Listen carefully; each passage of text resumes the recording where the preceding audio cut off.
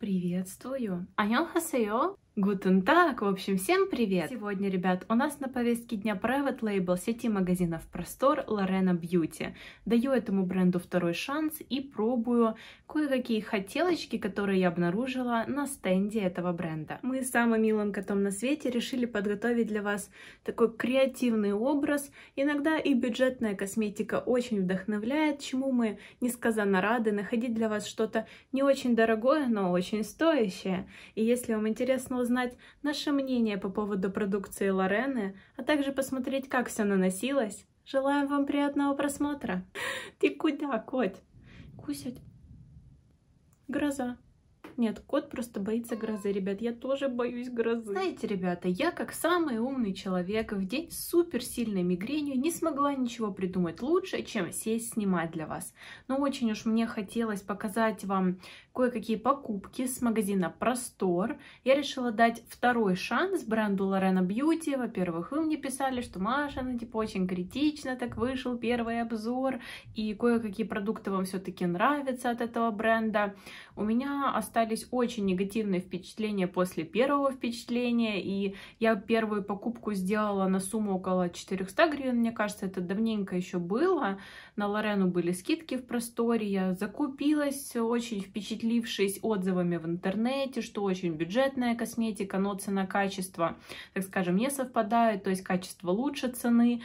Я осталась при своем мнении, но у меня сейчас на канале, знаете, какая-то такая перезагрузка, и я стараюсь дать второй шанс брендам, которым я его не оставила, то есть я первый раз попробовала, и мне не понравилось. И думаю, нет, Маша, так не дело, нужно хотя бы оставлять какую-то минимальную выборку, то есть понимать, что бренд или, возможно, продукция бренда не так уж и хороша, после того, как надо попробовать все-таки уже несколько позиций с продукции, чтобы составить верное впечатление. Бренд Lorena Beauty — это private label сети Простор, и удивительно, что абсолютно не совпадает информация на самом сайте, ее легко можно загуглить.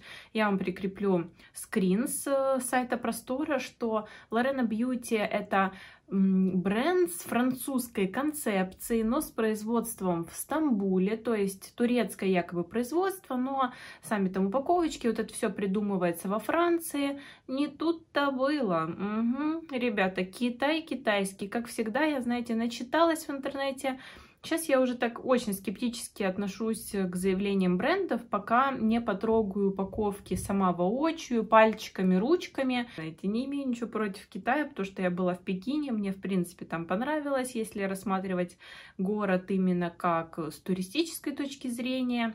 Но сейчас не об этом я решила выбрать какие-то позиции от Lorena Beauty, которые мне потенциально могли бы понравиться как э, покупателю, а не как блогеру, потому что как блогеру, конечно, нужно было бы взять там тональный, консилер, найти все лицо. Но первые мои покупки как раз-таки были в разнобой и для лица, и для глаз, и для всего-всего, и мне вообще м-м, ничего не понравилось, и я подошла к стенду в этот раз, знаете, так задумалась, очень тщательно все посмотрела, повыбирала тона и выбрала то, что мне как потребителю может понравиться в перспективе. Поэтому, ребят, можно сказать, сегодня у нас Lorena Beauty выбор от Маши. Я не пробовала еще ничего на лице, но сводчила и нюхала. У меня большие вопросы к отдушке данной косметики, но они возникали еще при первом впечатлении, поэтому я не так уж и удивлена. Как-то хочется вместе с вами попробовать отдохнуть, релакснуть, поэтому завариваем чайчик, кофеечек. Будем надеяться, что сегодняшнее видео как начинается на позитивной ноте, так и завершится оно на позитивной ноте и не будет ох, моего разочарования очередного косметического.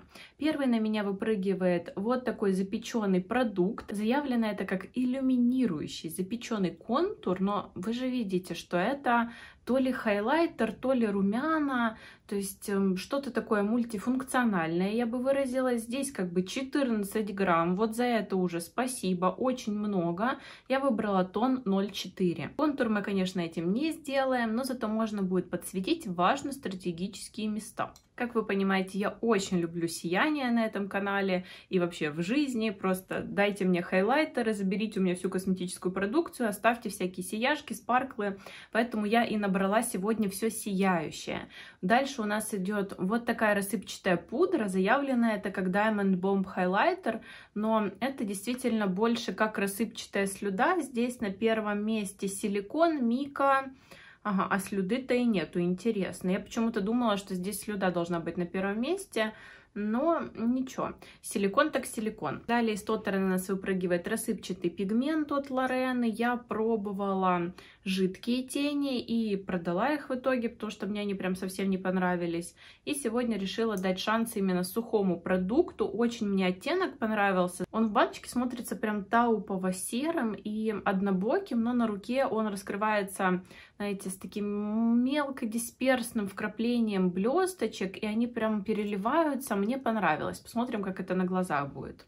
И последнее, что нас сегодня ждет из Лорены, это подводка глиттерная, глиттер-лайнер Perfect. Ну, насчет ее идеальности я бы тут поспорила, потому что я все-таки ее уже на руке сводчила. Она, знаете, засыхает такой корочкой, и ее очень легко потрескать.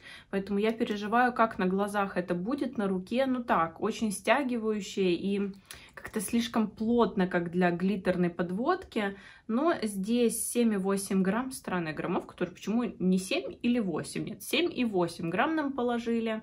Ну, знаете, главное, как это все будет работать на морде лица, а не на руке, поэтому будем пробовать. Я заранее стараюсь себя сейчас не накручивать и не настраивать на негатив. Интересно, что с тех пор, как я начала вести этот канал, я перепробовала, наверное, от бюджетного дна, прям каких-то бюджетных дебрей, джунглей, всяких Максмаров, Кристианов, которые, знаете, вбиваете в Google и просто особо вам информация даже не выдает по этим брендам, до там более высокого бюджета, какой-то масс-маркет из Евы и что-то повыше, поэтому у меня уже есть определенная картина, как бюджетная косметика должна работать в той или иной ценовой категории. То есть я, конечно, понимаю, что тени там за 30 гривен не будут работать так же, как 300. То есть какие-то моменты будут, возможно, аромат. Даже если оно будет красиво наноситься, ну что-то надо понимать, что чем-то вы будете жертвовать. За счет вот этой дешевой цены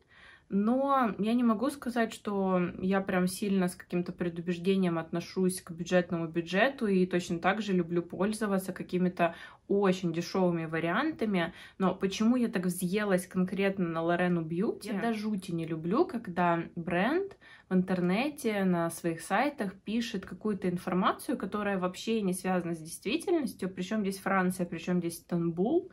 Я тогда, помню, делала research. Как-то связан этот бренд еще с Изабель Дюпон, потому что заявлено, что производство GIS Cosmetics, который в Стамбуле, также на GIS Cosmetics производится Изабель Дюпон, который в Еве продается или которая в Еве продается. Про эти бренды очень мало информации. Но почему же столько текста и так мало реальности? Вот, берем любой продукт из сегодняшних от Лорены. И что здесь пишут? Сделано на заказ компании, бла-бла-бла, www.простор.ua, ну, то есть, понятное дело, сайт и отсылка к сайту Простора, потому что это private label, но в итоге Нинба Китай, Нинба, Ningba. И что это вообще за компания? Ningba General Export. Ну, вы суть поняли, то есть здесь вообще ни Турции, ни Франции не пахнет. И как бы все, это факт. Общий чек, который у меня получился на вот эти четыре позиции, по-моему, был чуть выше 200, там 220 с копейками. Я чек не сохранила, у меня здесь какой-то легкий кавардак осенний происходит. Мне очень хочется сделать, знаете, такой ресток в комнате и какие-то летние вещи уже убрать, поэтому у меня здесь такой легкий хаос. Суть в том, что на сайте Простора тоже очень тяжело найти какие-то отдельные позиции. Вообще сайт Простора не очень удобный, поэтому я не смогу вам, к сожалению, прикрепить ни скринов, что за сколько я брала. Я думаю, если вам будет интересно, можно будет просто сходить в простор и там посмотреть. Тут баночки такие, знаете, запоминающиеся, то есть это не тяжело будет обнаружить потом на стенде. Пожалуй, выпью я кофейку потому что мигрень усиливается, я перестаю немножко соображать. Убрала сразу волосы, ребят, в хвостик. Ри-5. Заколками заколола себя, чтобы нам ничего не мешало чтобы нам ничего не мешало. Много рассыпчатых продуктов, и пигмент у нас рассыпчатый, и хайлайтер. Очень надеюсь, что сейчас на меня ничего сыпаться не будет. Я, в принципе, знакома и много раз работала именно с рассыпчатым форматом, что хайлайтеров, что теней, и проблем быть не должно. Я тут к вам немножко приехала. Давайте нанесем что-то на губы. Я хочу в очередной раз потестировать вот этот тинт, как блеск тинт от Belor Design Jump to Peach. Очень непонятный мне продукт. Я как-то пытаюсь его полюбить. Он вкусно пахнет. Очень стильный перезапуск в плане упаковки. Но он так странно выглядит на моих губах. Я прям не знаю, как это использовать, чтобы это выглядело красиво. Но он сейчас начнет темнеть, потому что он прозрачный, на губах начинает приобретать более такой персико-розовый оттенок. И есть еще Jump to Pink, он прям совсем розовый. Но проблема в том, что я не могу его как-то адекватно по плотности нанести всегда. У меня либо очень тоненько, либо очень густо, и он потом растекается куда-то ну вот, знаете, это не тот блеск, который бы я хотела, что я вот прям такая, ой, классная упаковка, взяла там, помазала, кайфанула и убрала в сумочку. Нет, я прям испытываю какие-то трудности. И мне очень грустно, потому что это была одна из моих летних хотелок. Действительно, мне очень нравится дизайн, но согласитесь, это прям стильненько, как для белорусской косметики.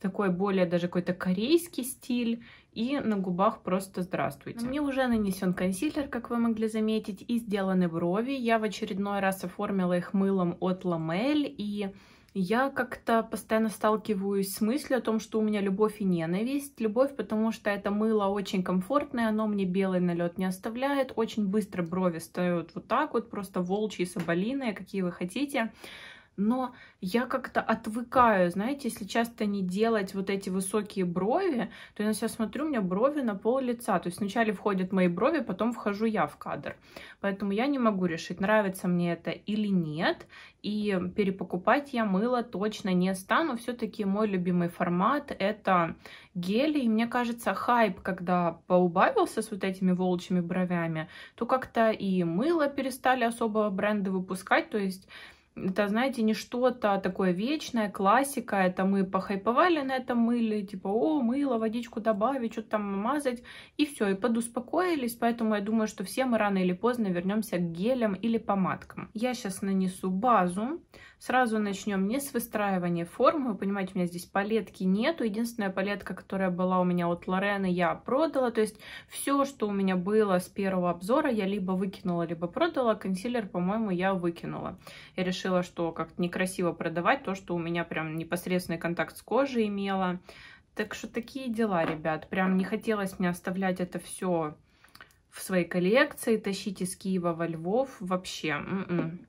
Никаких приятных впечатлений. Надеюсь, что из сегодняшнего обзора все-таки в мою коллекцию что-то основную останется. Я подсмотрела, что можно базу наносить вот так вот спонжиком на глаз. Тогда очень тоненькое распределение. Посмотрела я у Марины Лакшес. Надеюсь, что у меня тоже все нормально получится нанести. И пигмент прилепится. Он действительно вот спонжем классно наносится, намного удобнее, чем кистью это делать. Это можно делать только если у вас до этого уже тени не были нанесены, и вы не смажете свою тушевку и так далее. То есть, если вот вы изначально делаете что-то под базу, может, вы тушевать на ней хотите, или, как я, блестяшки лепить, тогда можно вот так спонжем поприбивать. Я сейчас наношу базу от NYX, это клей для глиттера. Пигмент называется перламутровым, Pearl Pigment. У меня тон 0,5, что у нас здесь? Первая мика. Интересно, да. То силикон у нас первый, то мика. Свежая продукция в 2020 году была произведена 3,5 грамма. Ну, вообще-то неплохо так. Вам надолго хватит, особенно если вы только на глаза будете это использовать. Здесь упаковка, ребят, идентичная с упаковкой LCF. И я думаю, что, наверное, есть смысл вам это продемонстрировать. Нет смысла даже пытаться надеяться, что это где-то там Турция, потому что LCF весь в Китае делается. И Соответственно, видимо, просто на одном заводе делалось. У Лорена и LCF отличается только вот эта наклейка, где название бренда. Вот, ребята, LCF, вот Лорена. Сейчас я тут тоже крышечку открою. Вы видите, что они прям идентичные. LCF такой же черный колпачок, такая же Тут закрывашечка очень удобная. Кстати, формат выпуска мне нравится. Намного больше, чем даже у более дорогих пигментов. Но не суть. Реально просто одинаковое все. Вот такой дозатор у этих пигментов, что у LCF, что у Лорены. Возможно, мы вот так вот парочкой сегодня их и поиспользуем. У LCF это тон, а я не знаю, какой тон, у меня здесь уже просто все постиралось, давненько я его покупала. И видите, все-таки, ой, что-то у нас тут все летит. Поиспользовала, то есть здесь наконец-то видно, что у меня немножко он спустился. Такого формата выпуска вам действительно на очень много лет хватит. У меня немножко грязная кисть, сейчас я очищу ее об свою губочку с Али. Очень удобная вещь, ребят. Просто берете, и у вас кисть сразу сухая. То есть, если вам нужно экстренно, экспресс что-нибудь очистить, очень удобно. Я пигмент Лорены вначале сыплю в крышечку себе, но нехило так его высыпается. И нюхаю, конечно же, потому что меня все еще поражает отдушка у всей косметики Лорена. Это смесь детского крема и какой-то такой химозности. Мне не нравится, прям ощущается китайский душок. У меня даже фокалюр так не пах. Но фокалюр, с другой стороны, это уже более дорогой китайский сегмент, чем та же Лорена, хотя они вообще заявляют себя как Турция. Ох уж мне эти скандалы, интриги, расследования. Момент истины. База у меня липкая еще. Знаете, на все века давайте.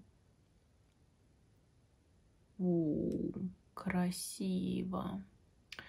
Ой, пигментация, конечно, у этого пигмента замечательная. Это не топер, это именно пигмент, он полностью покрывает вам все веко. Как-то на клей от NYX немножко века пожевала, или мне кажется. Вариант таких очень быстрых коричневых смоки. Границу я не сильно тут переживаю, что делаю. Возьмем отдельно какую-то палетку и быстренько подтушуем дымку. Мне главное сейчас основную вот эту сияшечку нашу перламутровую хорошенько втереть в подвижное веко, чтобы был перелив. Вот. Ну вот как-то на веке, конечно, этих отдельных блесточек не так видно, как на солнце. Очень надеюсь, что вам на сводчах было видно, я для вас снимала возле окна при солнечном освещении что там есть вот эти вот отдельные кусочки. Возможно, просто нужно на это смотреть именно при дневном освещении. При софтбоксах это больше на сатин похоже, однако сатин симпатичный. Чтобы далеко не отходить, я этой же кистью набираю капельку пигмента LCF и в уголочек себе как украшалочку. Даже, наверное, не только в уголочек, а сейчас проведем от начала внутреннего уголочка и, знаете, вот так вот, оп, заходя на серединку. Сразу скажу, что LCF мне нравится больше. Я думаю, очевидно, почему. Потому что это сияние больше в моем вкусе. Здесь отдельные блесточки различимые. Такое что-то розовато-голубое, фиолетовое. Обожаю эту сияшку от LCF. От Лорены здесь, знаете, что-то более такое для возрастного макияжа, возможно, для моих каких-нибудь более взросленьких девочек. Если вы не любите супер различимые отдельные блесточки, то вам такое понравится, и этим можно на каждый день пользоваться. Так, ребят, мне хочется доделать тушевку и вот эту глиттерную подводку нанести не как подводку, потому что она чуть-чуть странная в этой ипостаси, а просто как глиттер на подвижное век, как акцент. Сейчас быстренько с вами сделаем контурочек и будем наносить глиттер.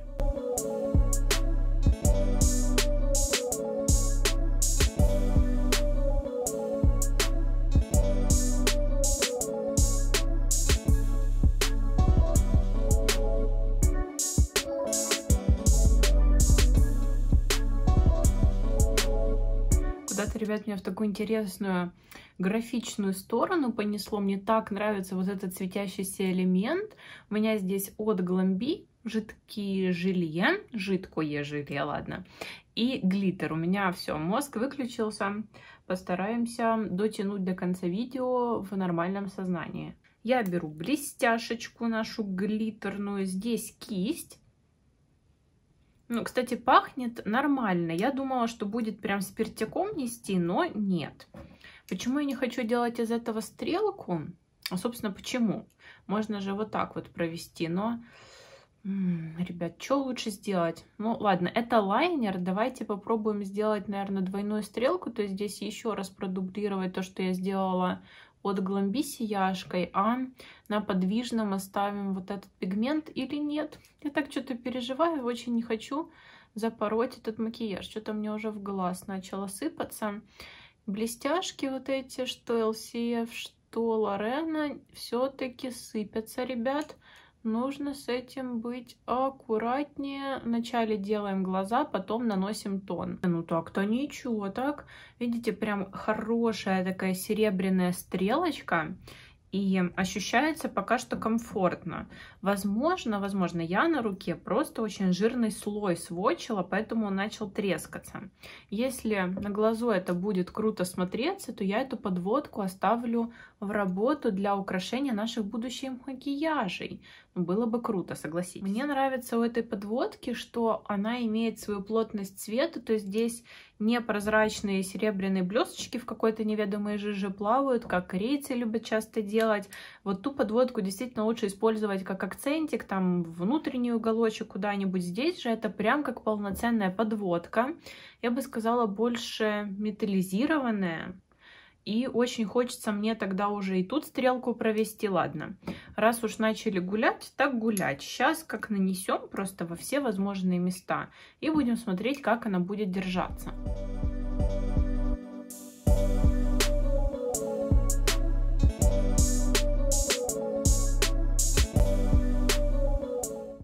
Вот, ребят, как классическую стрелку ее во внешнем уголочке вообще что-то не очень красиво наносить.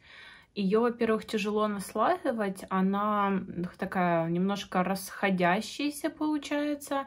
Не то чтобы она расслаивается, просто она не хочет быть плотной в этом месте. То есть сделать вот такие акценты гораздо логичнее. И я очень сожалею, что я сюда ее нанесла. Мне уже не сильно нравится то, что вырисовывается на глазу.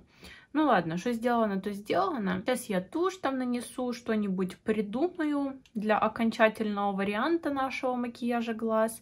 И будем тестировать уже на лице продукты. Ребята, я тут вспомнила, что у меня вообще-то еще есть помада от Лорены. Вот так выглядит, матовая на губах, у меня она еще застывает.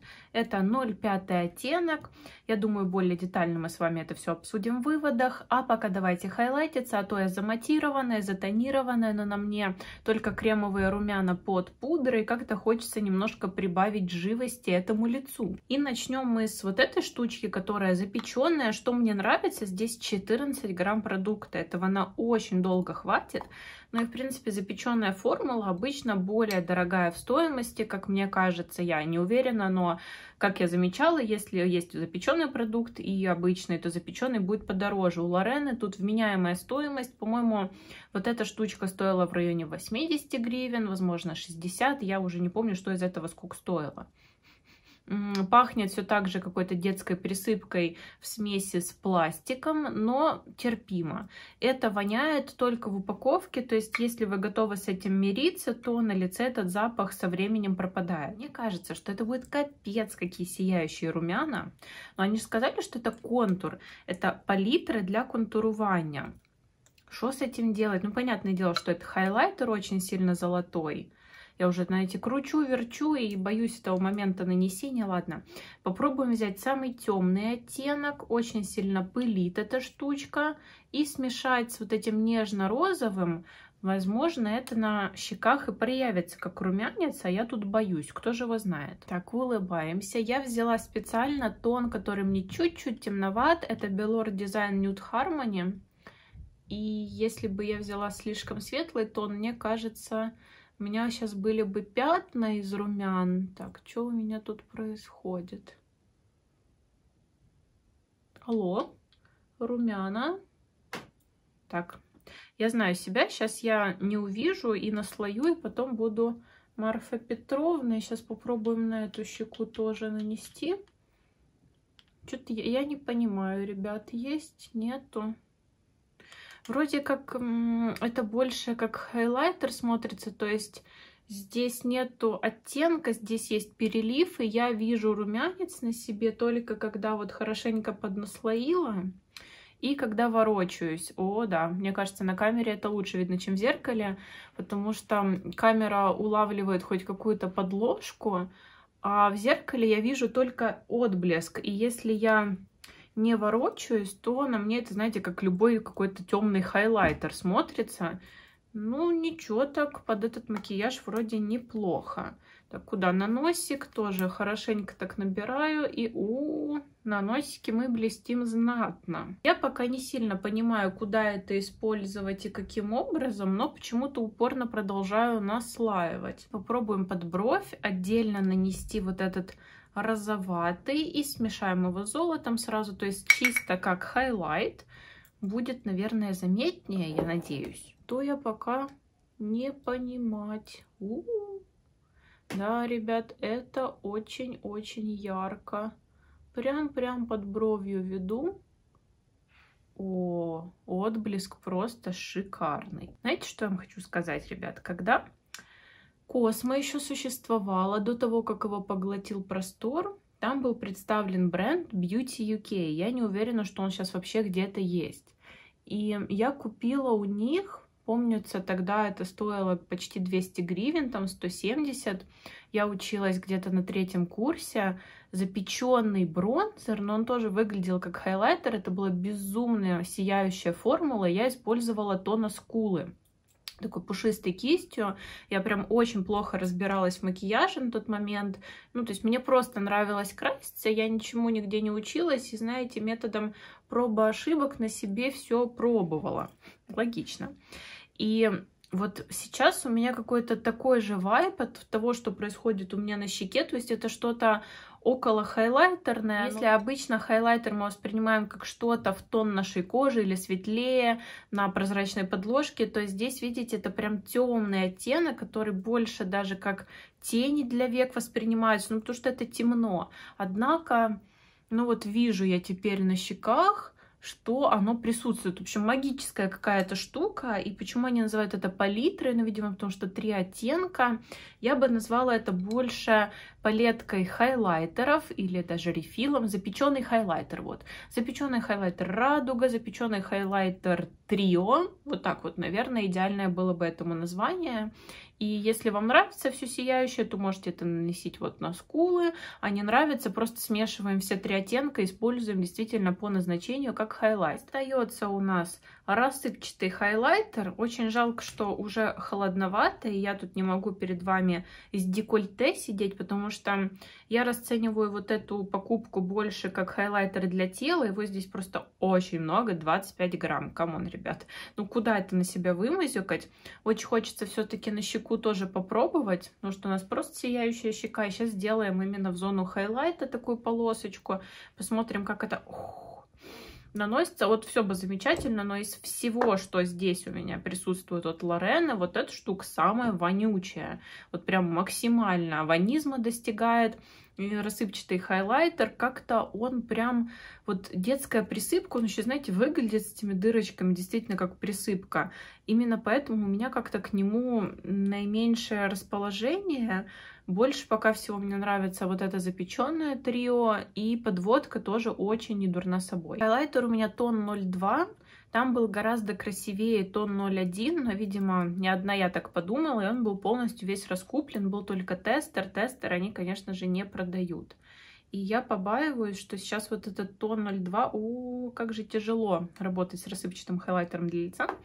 Он сейчас будет не темноват, Однако на лето, там на ноги, на декольте ваше будет неплохо. Так, а что опять происходит, не происходит? Очень тяжело мне как-то привыкнуть к такой продукции. Я вот, знаете, набрала, видите, какой он темный. Сейчас боюсь, что жмяхну и нам все испорчу. Оп.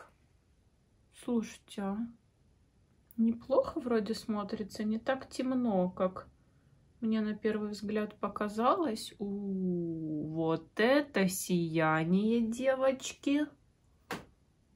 Ну, тут я, конечно же, переборщила. Ладно, бог с ним. У нас первое впечатление со вторым знакомством от бренда. Поэтому, конечно, я могу тут что-то неправильно нанести.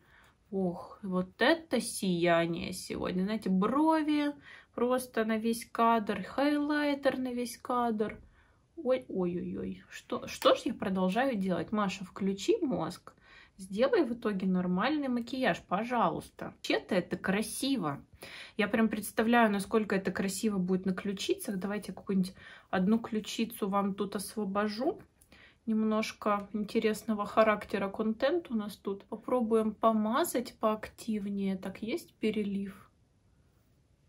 Хм, не, ну, ребят, это объективно будет красиво на лето. Жалко, что лето закончилось. Сейчас если шею тоже повымазикаю этим хайлайтером. Ух. А давайте вы, Лорена, выпустите то же самое, только без ароматизатора. И будет просто шикарно. Действительно, очень красивый хайлайтер. Я, правда, здесь уже вся в нем. И ковер, и мои белые штаны домашние. Но это прям годненько, я считаю. Давайте, ребят, меня освобождать от плена заколок. Наверное, сейчас распустим с вами волосики, сделаем тут гриву. Нет, наверное... Или да, нормально, нормально. Я думала, что может хвост оставить, но вот такой объемчик на голове тоже неплохо под подобный макияж. У меня здесь резиночка такая с Bunny, да, это Bunny. Очень люблю я мультяшки. И когда надеваю эту кофточку с этим топом, мне постоянно хочется эту резинку на себя нацепить. Все, ребят, давайте я, может, вблизи эту всю красоту покажу. Посмотрите, как это на коже сидит. Текстура там подчеркнута, не подчеркнута. Да и мне было бы неплохо это все тоже рассмотреть. Ребята, я в шоке с рассыпчатого хайлайтера.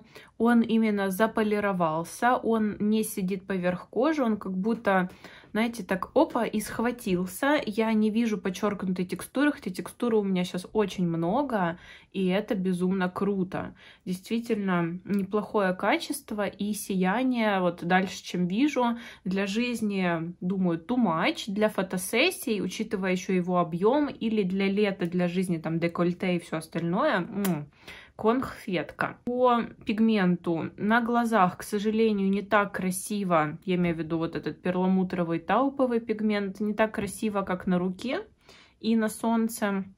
Но на глазах это тоже, скорее всего, надо смотреть на солнце. При софтбоксах как-то просто очень серо. Подводка глиттерная, красивая только как акцент. Вижу, что она не осыпалась, все на месте. Но если вы пытаетесь нарисовать стрелочку вот тут, классическую стрелку, где она должна быть, то там уже возникают проблемы и неудобства. Поэтому смотрите сами, если вы делаете какие-то акценты, то подводка тоже классная. Что у нас дальше? Помада. Помада у меня из первой серии покупок, которая прям вообще мои первые впечатления от Лорены. Давайте сделаем чмок-тест. Чистенько. Я ей довольна. Очень советую, если вы, например, хотите под определенный образ какую-то такую малиновую помаду, но понимаете, что в жизни вы таким пользоваться не будете, зачем вам переплачивать там 200 гривен за какой-то масс-маркет с таким ярким цветом? Вы взяли себе Лорену, по-моему, вот это стоило в районе там 40 или 50 гривен, и все, и у вас там на один-два раза на фотосессию, на какое-то мероприятие уже есть малиновый оттенок помады. К тому же она не сушит губы, не отпечатывается, я довольна. Так как я не брюнетка, я такой цвет в жизни редко ношу, но под малиновые макияжи или под малиновые кофточки мне иногда хочется, поэтому вот как раз-таки для такого случая у меня Лорена осталась в коллекции, я ей довольна. По вот этой трешечке я пока что в замешательстве. Качество тоже неплохое, но как-то мне непривычно. Возможно, надо попробовать это еще не с таким макияжем, потому что макияж какой-то очень серый вышел. Тоже как-то я тут начудила. Давайте вот так не смотреть. Больше будем оценивать лицо. В целом, ребят, я не могу сказать, что я прям как-то конкретно изменила свое отношение к бренду Лорена.